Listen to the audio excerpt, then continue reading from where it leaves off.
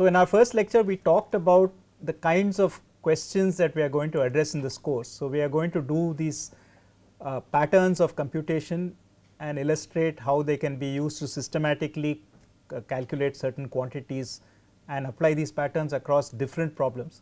So, for these we are going to use some specific types of data to make it more understandable and concrete. So, first we will start with school marks. So, this uh, is a typical report card. So, it has various pieces of information on it, it has the name of the student, say the school, uh, it also has some information about uh, say the date of birth and various other factors to identify the student. It has a serial number for the student or a roll number and then you have the marks in the different subjects in each subject math, science, uh, social studies, language and so on.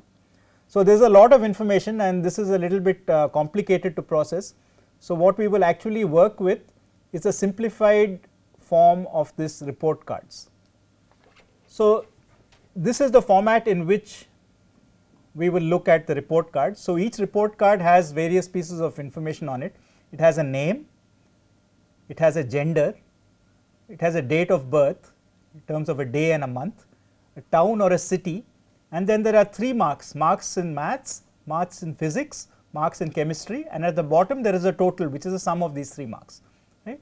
And each card has a number on it to indicate it uniquely so that if we happen to have say 2 people with the same name or something we will not get confused. So, this is card number 9, similarly this is card number 3 and this is card number 24 and so on.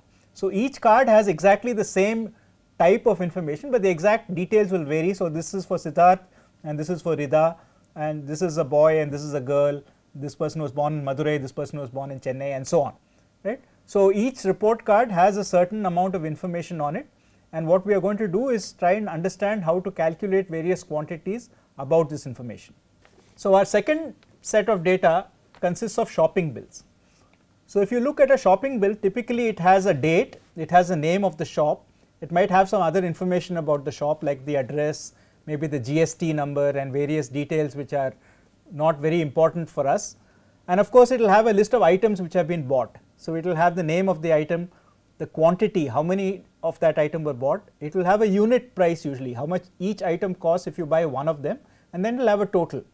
For instance, if you buy 4 bananas and each banana costs 8 rupees, then the total will say 8 into 4, 32. And at the bottom of the bill, you will have a total for the whole bill and then you might have some extra information like how much of tax you have paid, GST and so on.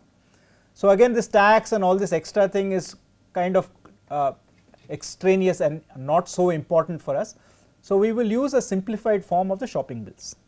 So, here is the typical shopping bill that we will use. So, it has on the top the name of the shop, here it is SV stores we have something which we will be using for our calculations which you normally do not find on a shopping bill that is the name of the customer.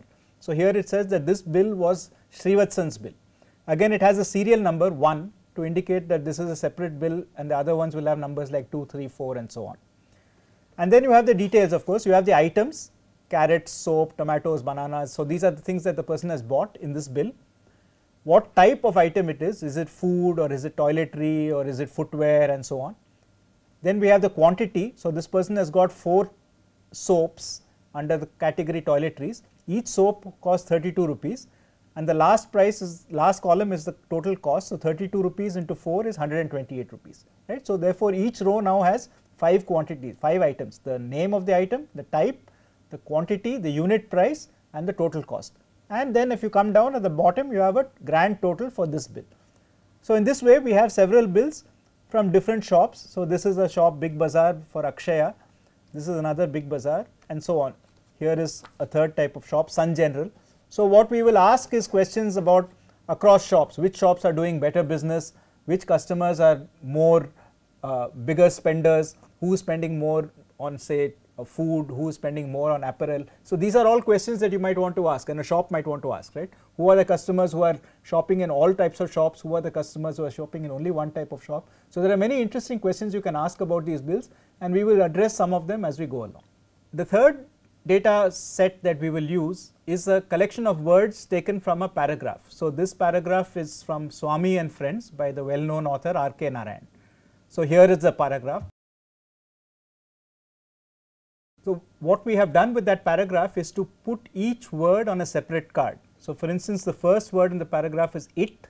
So, the card says the word, it has a serial number and it has two other items. It has the type of speech. So, it is a pronoun and it also has a number of letters in the word. So, it has two letters. So, each word is now represented in each word in the paragraph is now represented as a separate card and of course, here now it is important that you have the sequence number because some words like it or was will appear many times in the paragraph. So, we want to count each of them separately and make sure that they are separate cards. So, for example, if you remember the paragraph it started off with it was Monday morning. So, these are the first four cards right.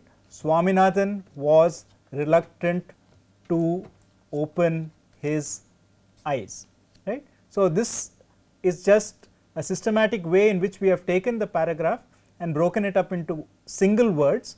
So, we have taken the punctuation for example, the full stop and put it along with the word so that it is not separated out.